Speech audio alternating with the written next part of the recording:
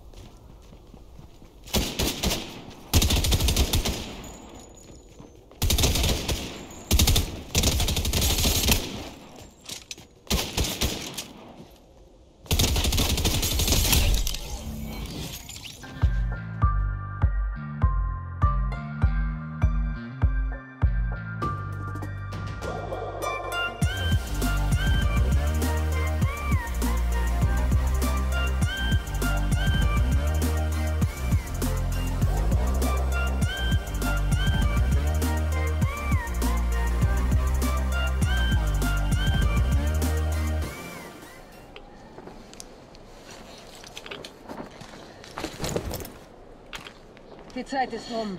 Wir müssen die Filter wechseln. Bewegung! Wir brauchen keine zusätzliche Strahlung, Schatz.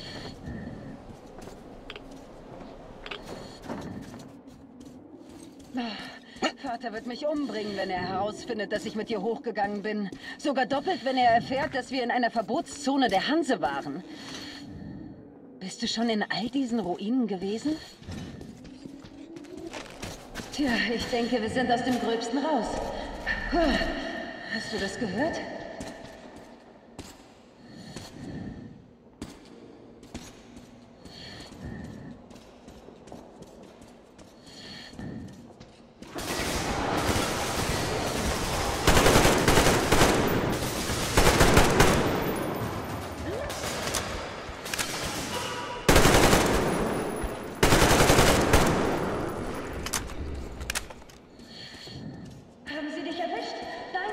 Habe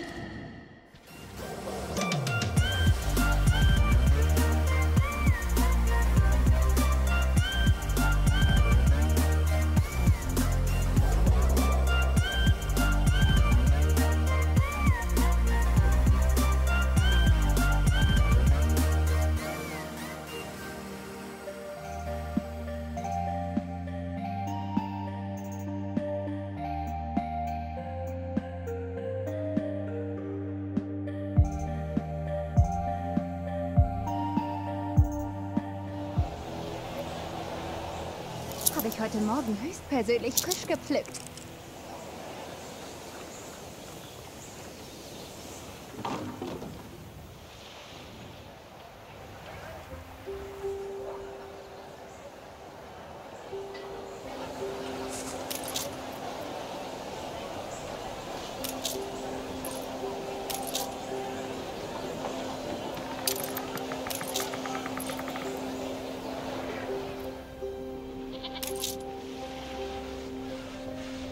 Neue Befehle?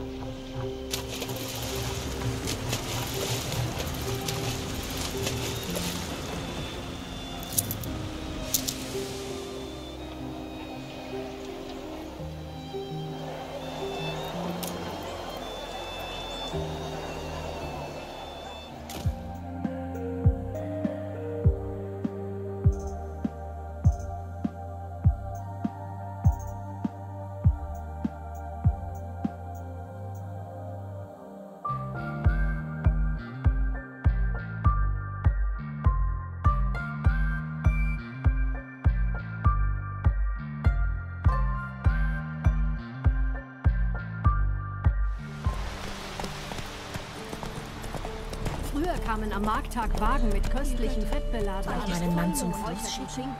Vielleicht findet er ja was. Jetzt bringen sie Eichelmehl und Büschel mit Kletten und Handel die Türstelle hätte. Die würde alle Dämonen fernhalten.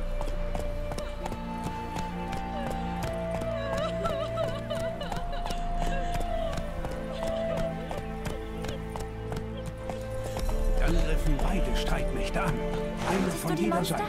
Alle? Die Kavallerie preschte aus dem Wald hervor. Die Infanterie kam wie eine Komm schon. Mauer aus dem Sumpf marschiert. Unsere Jungs wollten sich ergeben.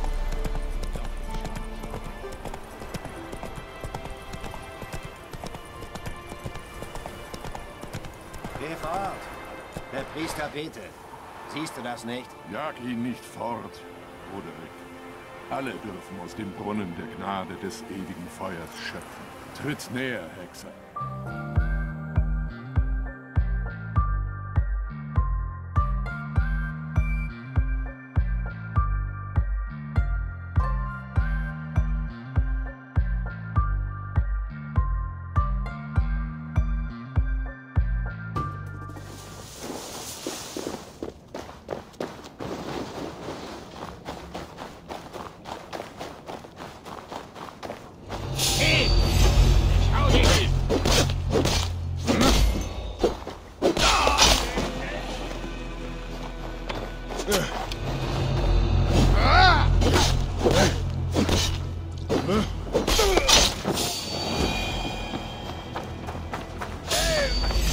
Ich töte dich!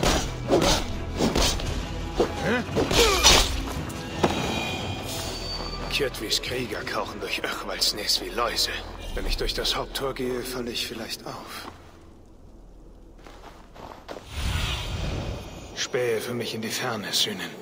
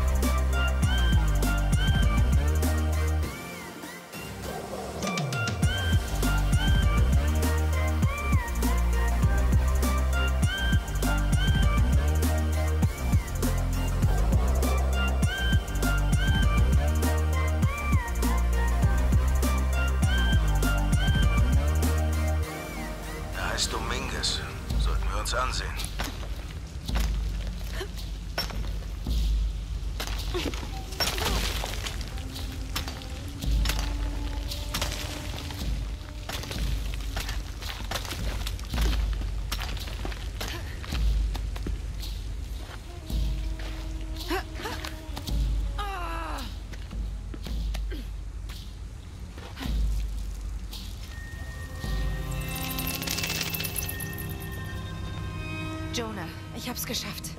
Ich bin unterwegs. Bin fast da. Tut mir leid, dass ich nicht warten konnte. Sei vorsichtig.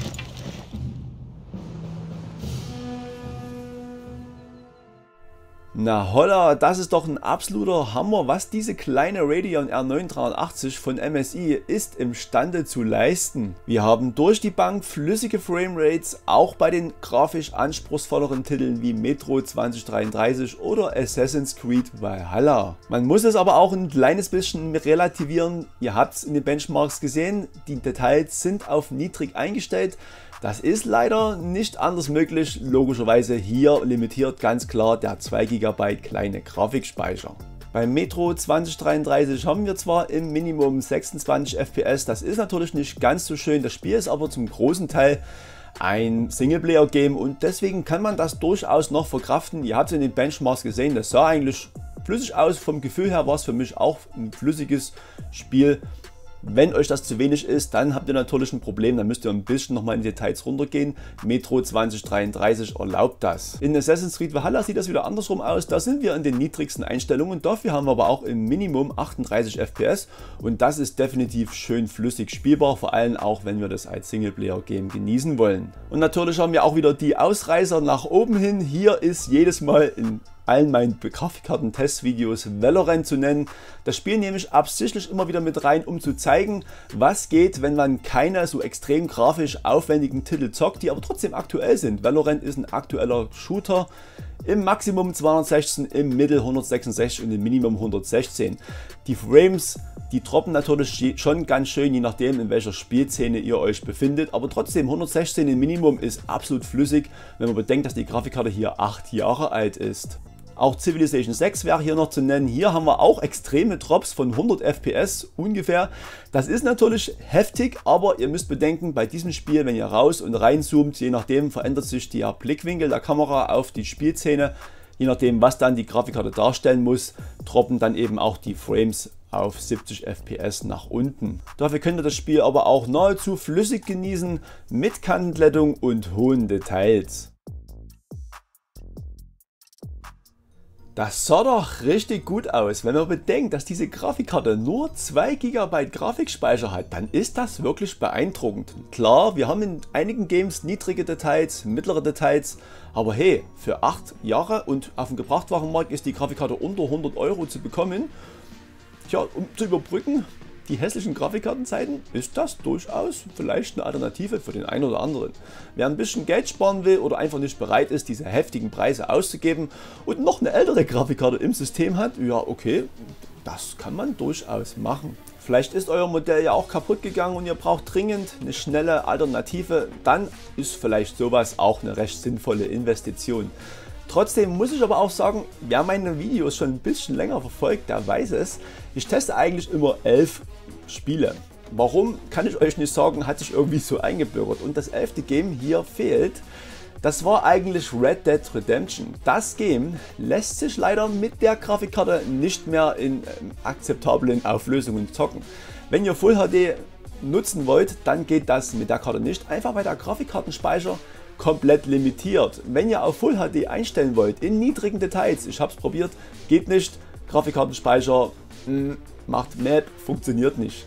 Deswegen müsst ihr dann auf 720p runterregulieren. Okay, und das will man dann doch eher, glaube ich, nicht. Deswegen nochmal, nur dass ihr es mal gehört habt, auch andere Titel wie Cyberpunk 2077 habe ich dann gar nicht mehr probiert, weil das Spiel ist ähnlich wie Red Dead Redemption von der Grafikleistung. Oder auch Star Citizen, sowas eben könnt ihr dann wirklich knicken.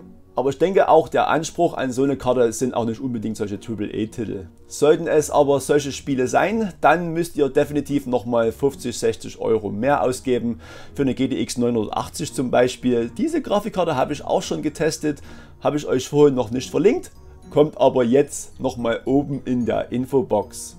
Die hat dann 4 GB Videospeicher, ist natürlich auch nicht so viel, hatte ich vorhin schon gesagt, eher Low-End, aber mit der könnt ihr dann solche Games wie Red Dead Redemption noch zocken. Das funktioniert, könnt ihr dann in meinem Video euch noch anschauen. Das ist zwar schon ein bisschen älter, aber kein Problem ja, die Grafikkarte die leistet nicht mehr und der Treiber bringt euch auch nicht mehr, wenn ihr einen aktuellen verwendet. Deswegen könnt ihr das Video trotzdem genauso anschauen. Und damit sind wir jetzt mit dem heutigen Video am Ende angekommen. Ich hoffe, ihr hattet Spaß mit den Spiele-Benchmarks gehabt. Seid vielleicht sogar auf der Suche gewesen nach einem Video mit dieser R9 380, weil ihr vielleicht ein tolles Angebot auf eBay Kleinanzeigen gefunden habt. Ja, wenn es euch gefallen hat und euch weitergeholfen hat, dann würde ich mich riesig darüber freuen, wenn ihr mir einen Daumen hoch gebt. Wenn ihr mir ein Abo da lasst und die Glocke aktiviert, verpasst ihr keine weiteren Hardware-Videos, sowas wie in der Art. Montage-Guide-Videos von CPU-Kühlern. Je nachdem, was ihr sucht, findet ihr ganz bestimmt auf meinem Kanal. Am Ende von dem Video habe ich an der Einleitung schon gesagt, hier und hier drüben gibt es noch weitere Videovorschläge. Stöbert ruhig mal, vielleicht findet ihr ja was Spannendes. Und dann sehen wir uns vielleicht nächste Woche schon wieder. Bis dahin, macht's schön gut und ciao.